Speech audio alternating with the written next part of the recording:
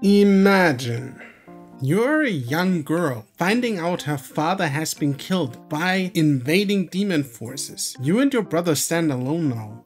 Your first course of action is to go into the basement and free an old demonic sword that is in your family's possession. The second course of action is to awaken the sword from its long slumber by raw dogging your brother. Demon Sword Incubus.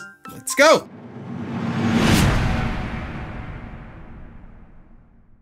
Demon Sword Incubus is published by Eroge Japan, the same company that brought you the infamous zombie apocalypse shooter Seed of the Dead, and its much better sequel Seed of the Dead Sweet Home. They always make sure you get the best porn game stuff you can get, made on the budget of a bag of rice. The developer is called Brianode. Unfortunately, I couldn't find much about them, mostly because my Japanese isn't as polished as my knob. It seems that this is their first game they developed. Demon Sword Incubus itself is a side-scrolling brawler that is pretty much in vein of something like Streets of Rage. It is a strange beast that needs to be explored, like a deep, dank and very moist cavity. First, let's talk about the story.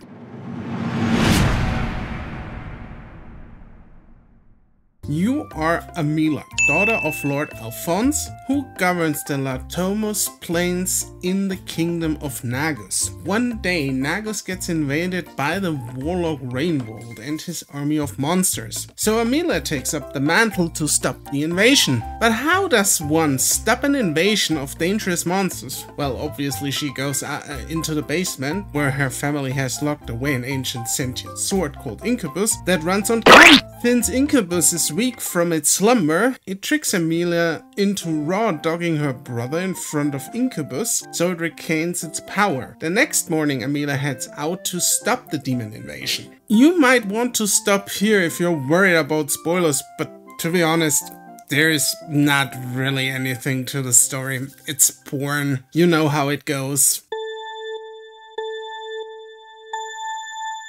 The game itself has like no plot at all. The most story development is right at the start of the game. After the player encounters a few loose story beats, such as that she gets hunted by the three basic bitches from the Royal Guard because she uses Incubus. They also team up later with Amila to help her stop Rainwald, but there is not really more to it. After Amila defeats Rainwald, he dies unceremoniously and with his last breath, he summons a Mega Demon from the depth of the abyss. That is the last enemy Amila fights before she sets off in the sunset to explore another continent for some sequel bait, I guess. As expected, and as I said before, the story is thinner than Kate Moss in her prime. That is a given in the genre, especially when it is more geared towards a quick fap like Demon Sword Incubus is. If you want something more meaningful, something like Dead and Aegis would fit that bill better, but isn't anything to fap to. And if you fap to it, please seek help. And with that being said, let's talk about the gameplay because that is where the meat and potatoes lie.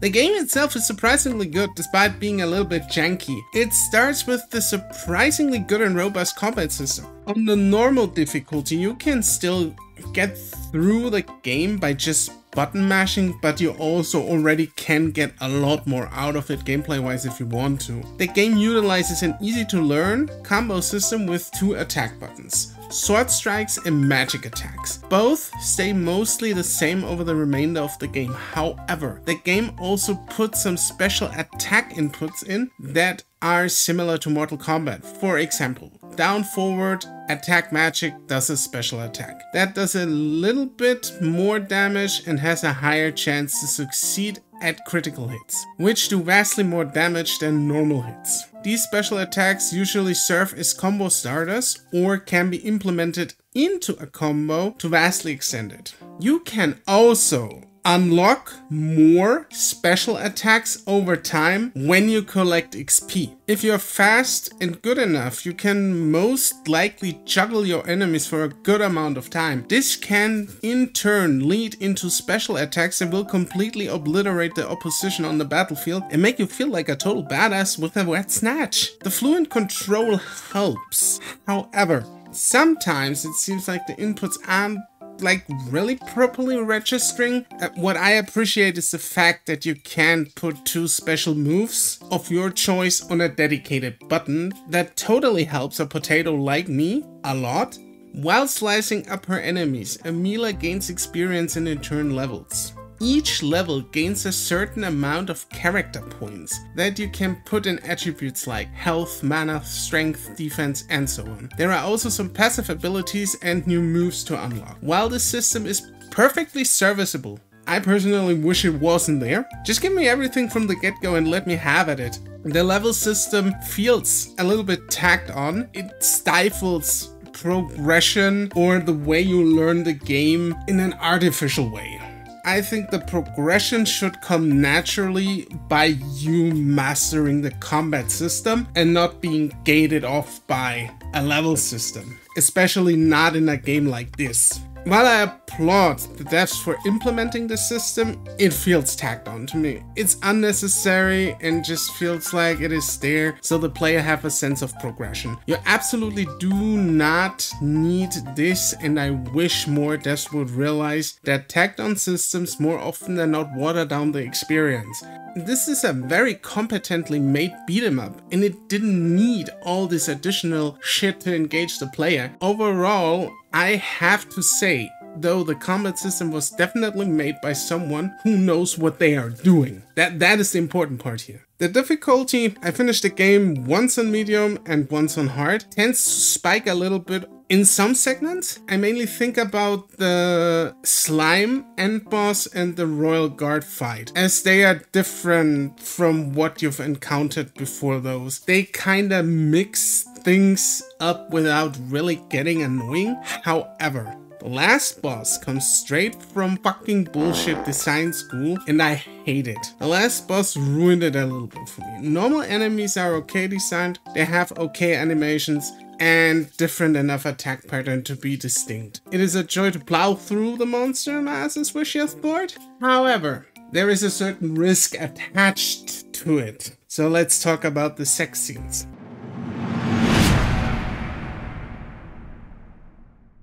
The game basically went to the Melty's Quest school of fucking. You lose, you get railed. Once the heroine loses all her HPs, she is being passed around between the monsters like your mom at the local swinger club. Unlike Melty, however, you don't have a dedicated lose button.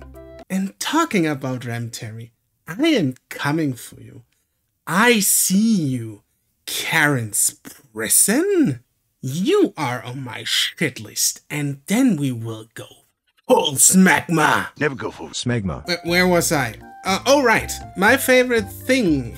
Fucking. The dedicated lose button is made up by a gallery you can make ample use of to see what happens in case you lose. And let me tell you, Amila gets raw dog by almost everything in this game. The love cavity is not safe in the slightest. Even during combat, it's not safe, because one mechanic of the game is that Amila's clothes get damaged and she fights naked at one point.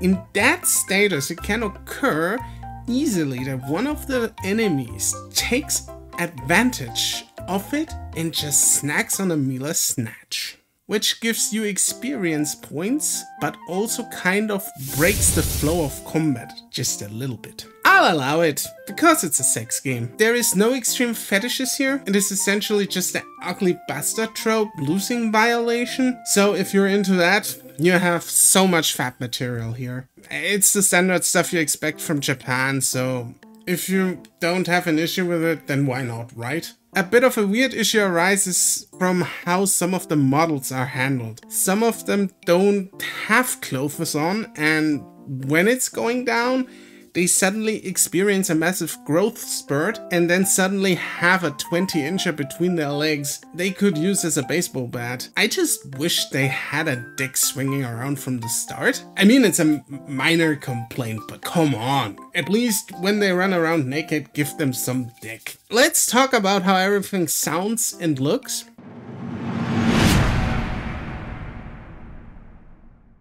The graphics and animations are what you would expect from a budget title like this. Amila and her attacks are super flashy and well animated. The enemies, they are okay. The bosses are quite alright, but the rest is a bit cheap. And you can see it. At least the fucking is well animated. I mean it should be, with various poses and techniques. The game overall looks good for probably being made on a budget of a bag of rice. The soundtrack isn't something to write home about. Lots of, lots of stock sounds and music. Most likely music from Epidemic Sound as they tend to take it from there. Because I know that Seed of the Dead Sweet Home has some Epidemic tracks. The voice acting is good, as expected. The Japanese voice actress is killing it.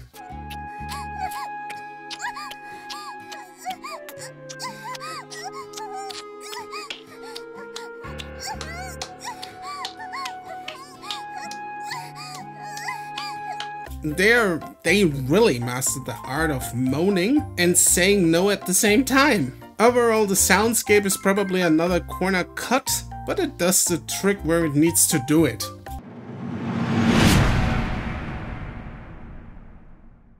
Overall, I would say this is a good effort for a budget title. I'm thoroughly impressed of what the developer has done with their limited time and budget they probably had. I did enjoy my time I had with it. One playthrough of the game is about an hour, which is extremely short, but the game is definitely geared towards multiple playthroughs.